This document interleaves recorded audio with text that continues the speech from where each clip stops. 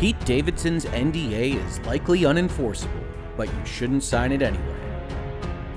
Hello, and welcome to another episode of Virtual Legality. I'm your host, Richard Hoeg, managing member of the Hoeg Law business law firm of Northville, Michigan.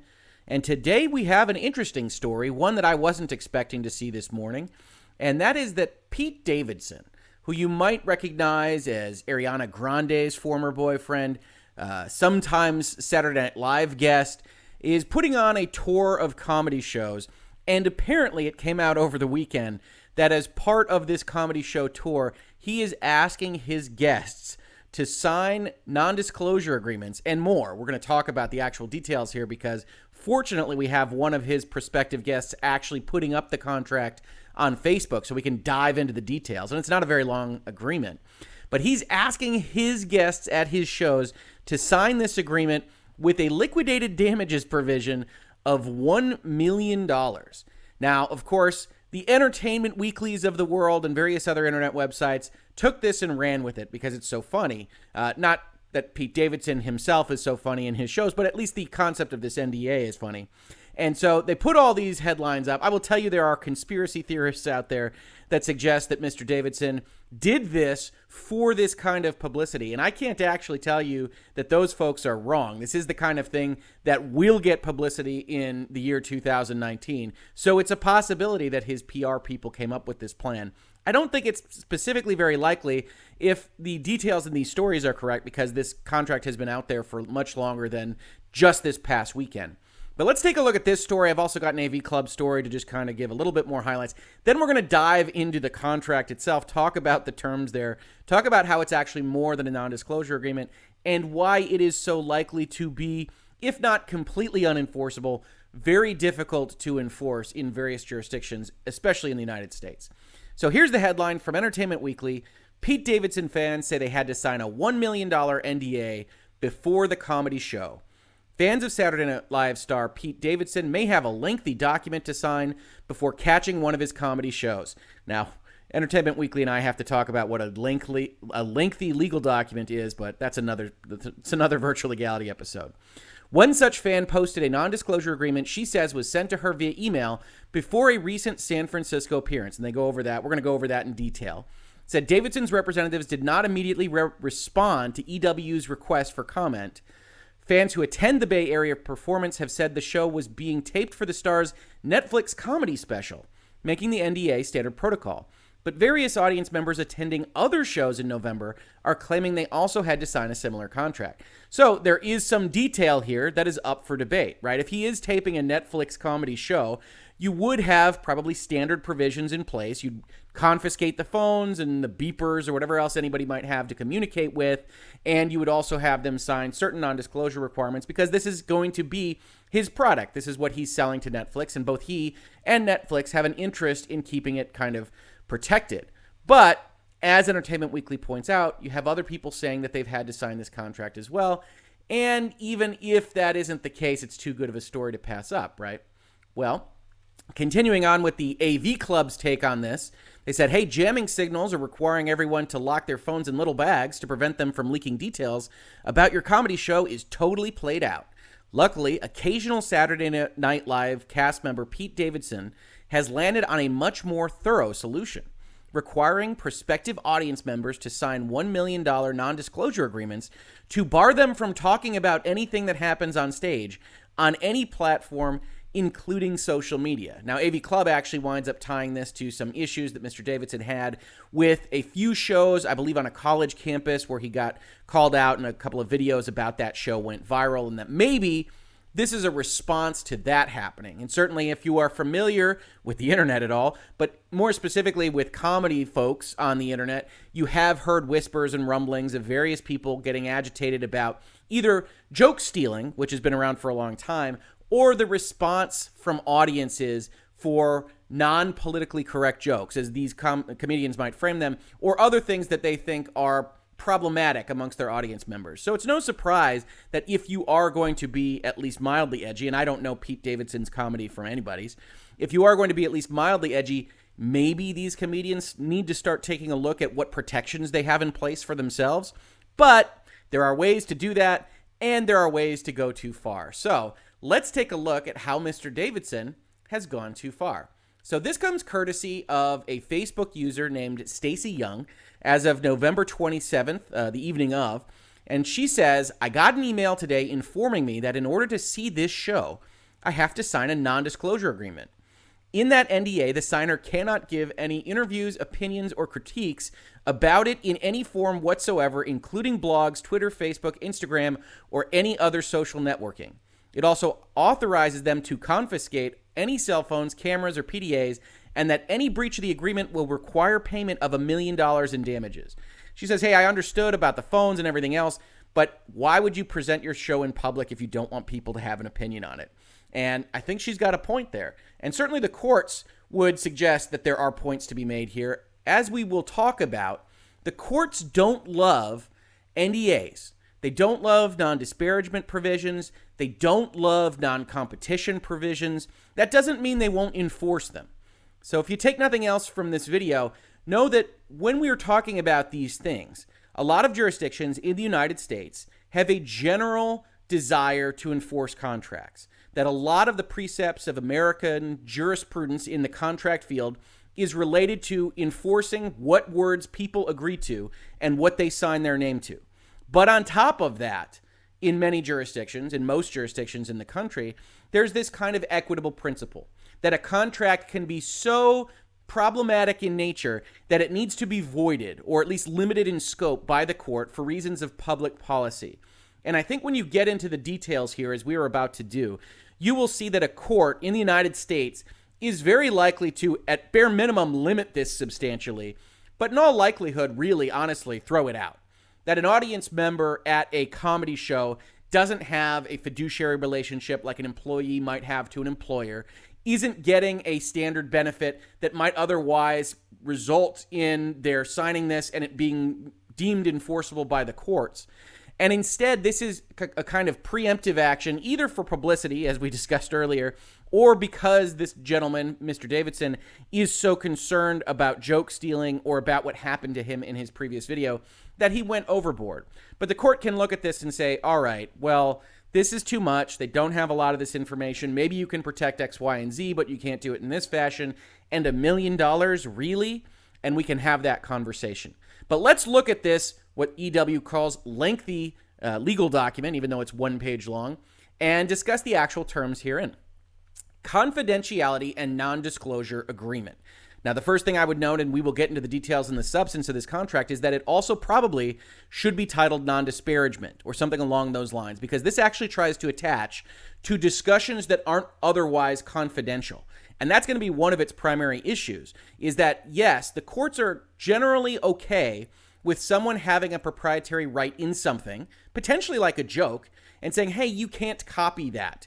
And if I'm really concerned about it, I can make you sign a contract to that effect. But this goes further than that, and that should be highlighted at the top. Now, they do do that in the box here, where they say, in short, by signing this agreement, you are agreeing not to discuss any details of the show you are about to watch or your experiences at this event, period. This includes blogs, Twitter, Facebook, Instagram, and any all other social media or online outlets. You can't say anything. Technically, I'm not sure that Miss Adams uh, on Facebook or Miss Young was able to say, "Hey, I was going to attend this show," especially if she signed the document, although it's unclear whether or not she did. Continuing with this, this confidentiality and non-disclosure agreement is made and entered into by and between Cowardly Dog Inc., which we have to presume for this purpose is Pete Davidson's company, which I think is an apt name for it. This is a fairly cowardly approach to these kinds of issues. And or its affiliated or related companies and clients. And the signee at the bottom of this agreement known as the individual. For good and adequate consideration, the receipt, adequacy, and sufficiency of which are hereby acknowledged individual hereby agrees as follows. So there's a couple things going on there just in terms of legal documentation, right? So you've got the two parties. You've got Cowardly Dog Inc., which presumably includes Pete Davidson as client or affiliate to the company. And the signee is going to be called capital I individual. And then they have a recitation of consideration. Because under the law, you can't have a contract unless each side gets consideration for what's happening here. Now, I don't know that there is adequate consideration. That's its own open question, right? The consideration for the initial contract is I pay you $40 or I pay you 400. I don't know how much a ticket for his show goes, and then I get access to your show. That's a contract. You've given me that access, you've sold that seat, I've paid you that money. That's the contract. Now you get in front of the show and say, "Oh, by the way, you have to sign this non-disclosure agreement." I think somebody could go into court and say, "Hey, yeah, I signed it, but I didn't get anything extra that I wouldn't have gotten from my $400. So, judge, you should throw this out for lack of consideration. Just reciting it doesn't make it so, although it does give them a bit of a defense in front of that same judge. They said, hey, if there wasn't adequate consideration here, why did they sign this document? It then continues Individual is or will be a guest of company at a performance event for the purpose of viewing works in progress creative content that may be associated with live or television programming and other media. In the course of individuals' viewing of the creative content, capital C's, individual will acquire or may be exposed to information, including without limitation information that is written, oral, performed live, photographed, or recorded on film tape or otherwise, as well as any as yet unreleased creative content. Individual agrees that he or she shall not, during the term of this agreement or thereafter, in perpetuity, disclose or cause to be disclosed, or confirm or deny the veracity of, to any third party or use or authorize any third party to use. A lot of legal language there, right? But we can break that down. This basically says, hey, you know, this person is on Saturday Night Live, is in various movies or is scheduled to be in various movies, and may be working on material that they intend to sell or are working on in respect of their employment with, say, Saturday Night Live. So if you see this, you can't use it, you can't steal it, you can't tell anybody the joke because that is our client's creative content. To some extent, and I think even uh, Stacy Young or the other people that are reporting on this, that makes sense. That this is, to whatever extent it's funny and useful and valuable, Pete Davidson's asset. He's been working on, he's created. He wants to put it out there essentially for a test audience. And much like you might sign a non disclosure agreement and you might put your phones in baggies and everything else, if you're at an early test screening of, say, the new Star Wars movie, this is a normal kind of set of events that you say, okay, I can't talk about what I saw. That's a normal NDA. And what you're not allowed to do, what this actually specifically references, is any information relating to the creative content, including jokes, stories, references, characters, plot, settings, or other elements, the business or interests of the company or company's affiliates, unless and until company or company's affiliates reveal the same to the general public. So the jokes are confidential. I don't know how you would gain access to the business prospects of Cowardly Dog Inc. at this show, but presuming that you would, you can't disclose that in each case until it's made public. So if you go and you watch this Pete Davidson show and he sets up a joke and then he puts it on Saturday Night Live later in the season, at that point in time you can share it. That's normal for a confidentiality agreement. Any information developed by, performed, or disclosed to individual by company, company's affiliates, or by any third party during the performance, unless revealed to the general public. Same kind of deal. Any information that company or its affiliates instruct individual not to disclose or confirm. The information described in 1 through 3 is hereinafter referred to collectively as the confidential information. Now, 3 is a little bit interesting, right? You don't actually have a tie bar there to it actually being confidential. So you can imagine a situation where Pete Davidson says Washington, D.C. is the capital of the United States, and then says, pursuant to Section 3 of the non disclosure agreement that you signed, you are instructed not to disclose or confirm that fact if asked. So you can see that there's an issue with that language. And this is the kind of thing that a court would look at and say, well, that's overbroad drafting. Now I have to put on my overbreadth hat and really start to redline this document if I'm so inclined, or I just toss it out entirely. And it's subsections like that which give me the red flag and say, well, okay, either lawyers were being instructed by their client to be overbroad on this, or it's not a fully legal document, or they just don't care whether it gets kicked out. And this is mostly a preemptive action because there are still a lot of well meaning folks in the United States, well intentioned folks that have no desire to breach a contract or violate the law. And when they sign their name to something, their word is their bond, regardless of its enforceability. That is still useful, especially to, uh, let's say, not so well meaning individuals or companies that want to put these documents or provisions in place. They do have the effect of preventing people from taking actions that they otherwise might take that are fully legal. And that's some of the reason that these kinds of contracts exist. Continuing. Individual acknowledges that maintaining complete privacy and avoiding disclosure of confidential information are critically important to company and its affiliates and business partners. That individual would not be given access to the confidential information if individual were not willing to agree to these terms and protect and preserve that privacy and confidentiality. And that individual's full and strict compliance with this agreement is a fundamental inducement upon which company is specifically relying in allowing individual to view, hear, or learn of the creative content. This is again going back to that kind of consideration question. They're now trying to establish hey, we never would have sold you a ticket if you weren't willing to sign this document, even though presumably that wasn't made clear at the point of sale. They're now trying to essentially retrofit this consideration onto the sale. Confidential information is and shall remain the sole and exclusive property of company and its affiliates, and during and after the term of this agreement, confidential information, even when revealed to the individual, shall be deemed to remain at all times in the sole possession and control of the company and its affiliates. In other words, you get to see this stuff. You don't suddenly own it just by learning of its existence. Again, we're good so far, give or take. You know, subsection 3 is a little bit problematic, but we overall understand the thrust. Hey, maybe you're taping this for Netflix. Maybe you're working on stuff for SNL, and we understand that we can't take that, that that is your intellectual property. I think basically we're okay right now, but let's continue. Without limiting any other provision hereof, individuals shall not give any interviews, offer any opinions or critiques, or otherwise participate by any means or in any form whatsoever, including but not limited to blogs, Twitter, Facebook, YouTube, Instagram, or any other social networking or other websites, whether now existing or hereafter created, in the disclosure of any confidential information or any other information relating to this agreement, the creative content, the performance, or the business of company or its affiliates. Here's where we really start getting into issues. Much like subsection 3 above, this incorporates concepts that are not confidential. I think we can all agree at least in some respects, that if you go to a show in a kind of test screening environment and they're working on creative content, regardless of whether this is true or not, we will assume for this purpose that it is, that you don't own those things and that there is some value in you not disclosing the actual jokes or the punchline or things of that nature. But when you start getting into, you can't offer an opinion, you can't go on Twitter and say, hey, I saw the latest Pete Davidson show, thought he had some good stuff in there. It dragged in the middle, but I really like how he finished it up. You can't say that according to A. And that's not confidential information, right? They, ha- they have no business reason to prevent you from saying that. They don't protect their jokes, they don't protect their stories, they don't protect their intellectual property.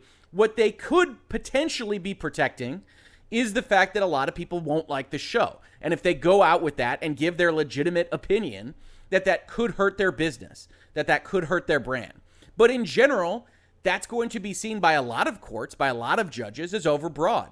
Yes, absolutely, you can protect the intellectual property that you spent time and resources and money developing but you can't prevent people from going and saying something about how they felt about the show or how they felt about the parking at the show or how they were treated by the ushers or anything else. And if you go that far, just like subsection 3 above, you you're going to have a court that is going to look at this much more closely and say, "Well, that's really really cutting it thin on whether or not you are infringing on people's just general authority to talk about their experiences and should this be a contract that the courts which of course have the power of state power, should enforce? And I think that's an open question when you look at something like this. If individual is contacted by a journalist, a representative of the media, or other third party who requests that individual disclose or confirm or deny the veracity of any of the information covered by this agreement, individual shall reject said request and or issue a no comment, and individual shall immediately advise company thereof. Now, again, this goes too far primarily because of the fact that they have limited your ability to give interviews or offer any opinions.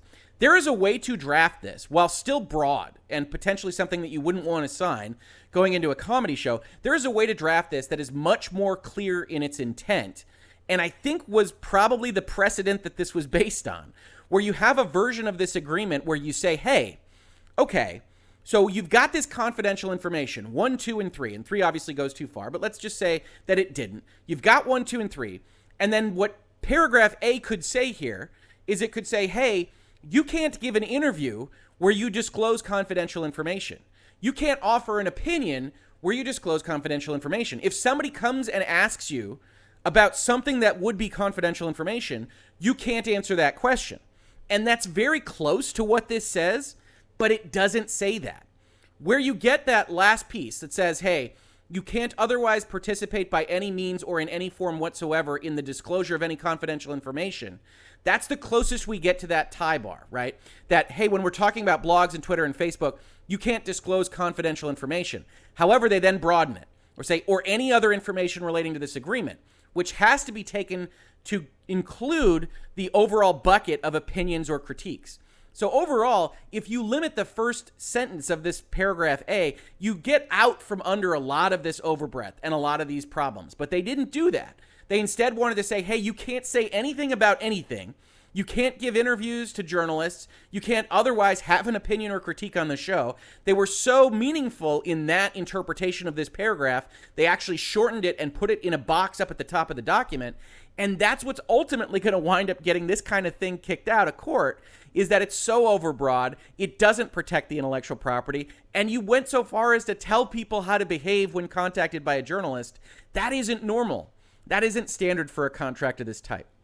Continuing with paragraph B, the individual hereby agrees that companies shall have the right to confiscate, including seize and destroy the contents of, cell phones, cameras, PDAs, and any and all other infringing devices usably brought into the screening without company's authorization and take all necessary measures to protect its rights. Again, I'm kind of with Stacy Young here. This is pretty normal. If they tell you you can't bring in a phone and you bring in a phone and they find it, the only real way to be sure that you don't have infringing information is for them to take it and look at it, potentially get your password from you and or destroy it. So that's pretty normal. This is the kind of term that you would see in a Disney early screening. I have attended those. I have signed NDAs of this type. But paragraph A is what's so unusual. And then, of course, paragraph C. Individual agrees that any breach of this agreement will cause company and its affiliates and business partners incalculable damages. Such damages include all costs of any nature associated with the creative content, presumably the development of it, as well as the incalculable creative efforts, and management time necessary in creating and distributing the same, the costs of putting on this tour. Accordingly, individual agrees that in the event of breach of this agreement, individual shall pay company upon demand as liquidated damages the sum of $1 million plus any actual out of pocket expense as well as attorney fees expended in enforcing this agreement. And this, of course, is the top line number. This is what you see in Entertainment Weekly. This is what you see in the AV Club. And if you're not familiar with the concepts here, basically, when you've got a contract, you don't have a provision like paragraph C, you've got a contract, you breach it, the side that is infringed upon or that was otherwise breached gets to go to court and say, hey, they breached their contract promises. These are the damages that accrued to me. I lost out on X, I lost out on Y, and they have to go show the court that this is the amount of money that that party that breached the contract should pay. In this case, they say, hey, look, we're talking about a comedy show. We're talking about someone stealing jokes or otherwise going out in the world and, in this case, saying negative things and opinions on Twitter, which is its own problem, believe me, and saying, hey, since we can't come up with the damage amount, we're just going to assume that it's $1 million. And as we talked about at the top of this video, in general, the United States court system is inclined to allow people freedom of contract, for you to look at this and say, yeah, okay, a million dollars, that's fine. And that's where you run into a lot of trouble right? I can tell you all about equitable principles right now.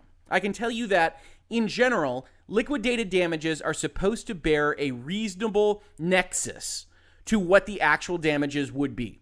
That if you go into this and then you actually do the analysis that they say would be so difficult and it's $990,000, then they are going to be okay with the liquidated damages provision, the court being the they in that sentence.